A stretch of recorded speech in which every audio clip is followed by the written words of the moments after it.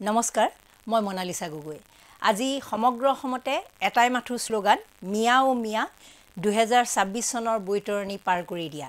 এই শ্লোগানটোৰে আজি দিনটো আৰম্ভ হ'ল আৰু সেই খবৰ উপক্ৰম হৈছেহি।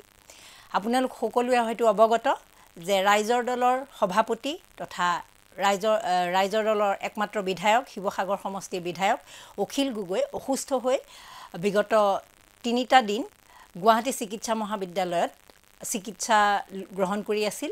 আৰু আজি বিধানসভাৰ অন্তিমটো দিনত তেওঁ আচলতে বিধানসভা উপস্থিত থাকিব খুজি খুজিছিল।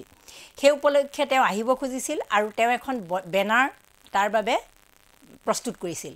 সেই বেনাৰখনত শ্লোগানটো আছিল মিয়া অ' মিয়া দুহেজাৰ ছাব্বিছ চনৰ বৈতৰণি পাৰ কৰি দিয়া। সেই বেনাৰখনৰ কাৰণেই আজি তেওঁ সুস্থ হোৱাৰ পিছতো চিকিৎসালয়ৰ পৰা তেওঁক বিধানসভাৰ প্ৰেক্ষাগৃহলৈ আহিবলৈ দিয়া নহ'ল।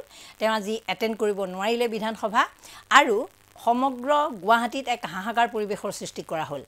আনকি আৰক্ষীয়ে সেই বেনাৰখন য'ত প্ৰিণ্ট কৰা হৈছিলে যিটো প্ৰেছত প্ৰিণ্ট কৰা হৈছিলে সেই প্ৰেছলৈও গ'ল আৰু আৰক্ষীয়ে তাত গৈ পেলাই তালাচী চলাই স্বত্বাধিকাৰী মোবাইল পৰ্যন্ত জব্দ কৰিব লগা হ'ল।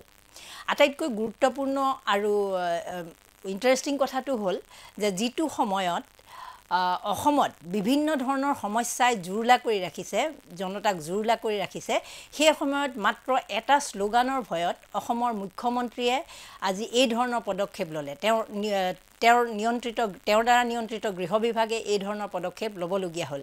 এইটো আশ্চৰ্যকৰ কথা।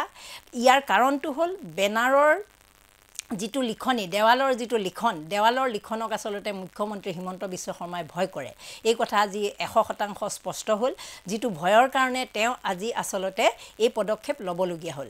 বিগত দিনবিলাকত অখিল গগৈ দুহেজাৰ একৈছ চনত শিৱসাগৰ সমষ্টিৰ পৰা নিৰ্বাচিত হোৱা দিন ধৰি যিমান বাৰে আজিলৈকে সদনত অধিৱেশন অনুষ্ঠিত হৈছে বিধানসভাৰ অধিৱেশন অধিৱেশনত প্ৰতিটো দিনেই তেওঁ অত্যন্ত সৰব ভূমিকা লৈছে। সকলোৱে এইটো বিষয়ে জানে। আৰু তেওঁ অকলেই বিৰোধী ভূমিকা ভূমিকা লোৱাৰ নিচিনাকৈ সকলো ধৰণৰ ইছ্যুত তেওঁ মাত মাতি আহিছে। শেহতীয়াকৈ এই পাঁচদিনীয়া যিটো বিধানসভা অনুষ্ঠিত হৈছিল তাৰ প্ৰথম দুটা দিনত তেওঁ স্মাৰ্ট মিটাৰ আৰম্ভ কৰিছিল।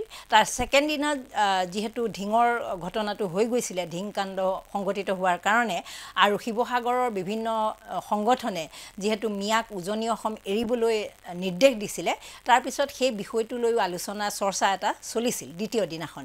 দ্বিতীয় দিনাৰ চৰ্চাত যেতিয়া অখিল গগৈয়ে বেলেগ এটা বিষয় উত্থাপন কৰিব বিচাৰিছিল সেইটো সময়ত মুখ্যমন্ত্ৰী ডাঙৰীয়াই বিষয়টো সলনি কৰি পুনৰ সাম্প্ৰদায়িক মন্তব্য কৰিবলৈ আৰম্ভ কৰিছিল মিয়ালেণ্ড গঢ়াৰ পৰা আদি কৰি বিভিন্ন ধৰণৰ মন্তব্য কৰিছিল এই বিষয়ে সকলোৱে অৱগত।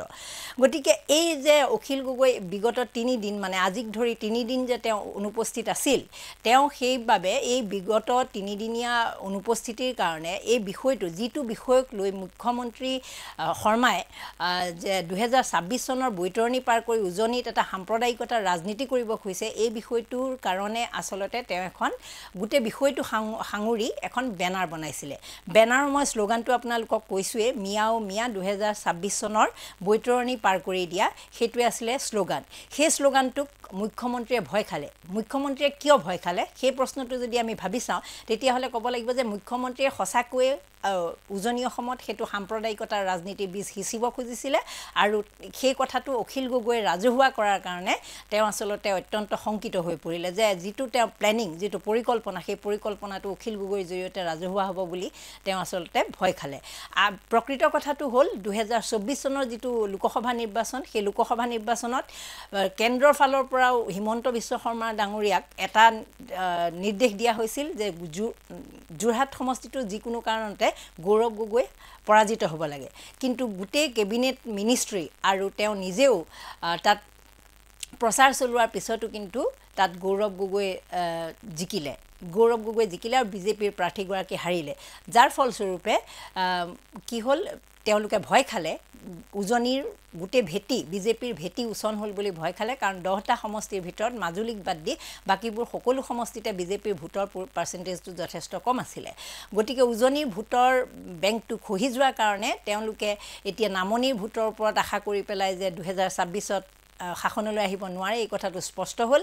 আৰু সেইবাবেই তেওঁলোকে গৌৰৱ গগৈ আৰু অখিল গগৈৰ যিটো দখল শিৱসাগৰত অখিল গগৈ আৰু যোৰহাট গোটেই লোকসভাৰ সমষ্টিটোত গৌৰৱ গগৈ জনপ্ৰিয়তাৰ উত্থান দেখি তেওঁ আচলতে এই পদক্ষেপটো গ্ৰহণ কৰিছিল। সাম্প্ৰদায়িকতাৰ বীজ সিঁচিব খুজিছিল আৰু সেই বীজ ৰোপণ কৰিবলৈ যাওঁতে অখিল গগৈয়ে তেওঁ যে যিখন মুখা আছিলে সেই মুখাখন খুলি দিয়াৰ কাৰণে আচলতে তেওঁ শংকিত অনুভৱ কৰি আজি আৰক্ষী চিকিৎসালয় প্ৰেছক সকলোকে সন্ত্ৰস্ত কৰি দিলে।